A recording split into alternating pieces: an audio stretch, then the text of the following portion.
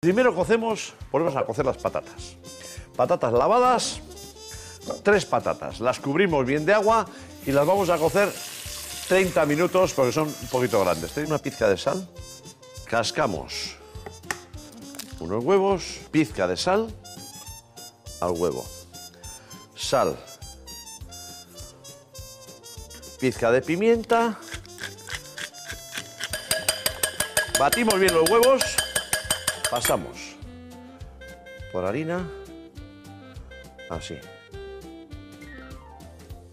Escurrimos la harina sobrante y al huevo. Así. Escurrimos el huevo batido sobrante y al pan rallado. Ahí. Y hago así. Mirad.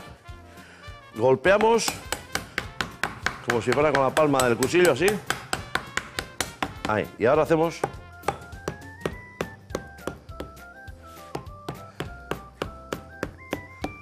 Esto es lo que voy a hacer con los cuatro que tengo. Dejarme que yo remate esto, así, y luego continuamos.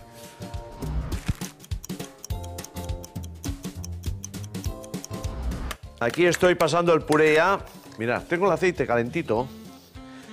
Voy a freír. Para ver cómo está el aceite, pongo un diente de ajo. Bien. Mirad. Voy a ir friendo de uno en uno.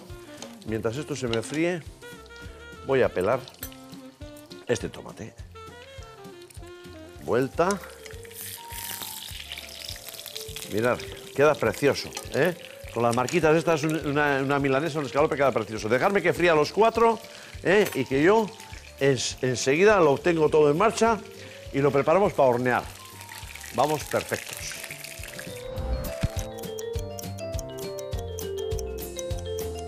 Mira, tengo las milanesas ya puestas aquí encima de la placa para meter al horno. Pongo cucharada de tomate hecho casero aquí, así. Encima de esta salsa de tomate, rodaja, perdón, de tomatito. Ponemos la mozzarella aquí a los lados, así. La hierbita. Falta ponerle la aceitunita.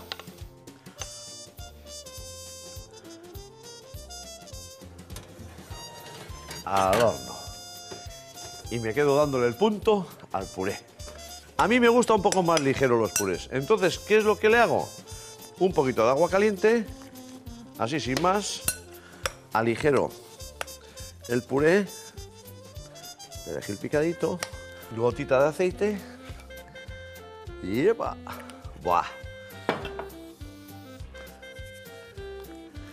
y lo tengo al punto. Esperamos dos minutitos y va a estar esto que arde.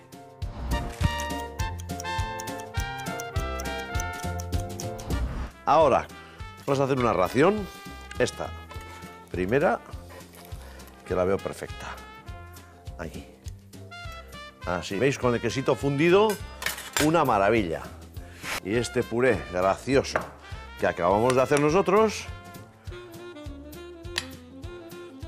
Ahí.